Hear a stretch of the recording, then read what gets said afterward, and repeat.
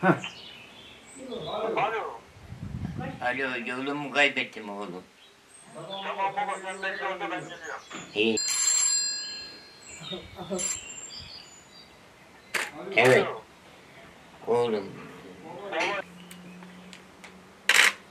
Hala oturayım.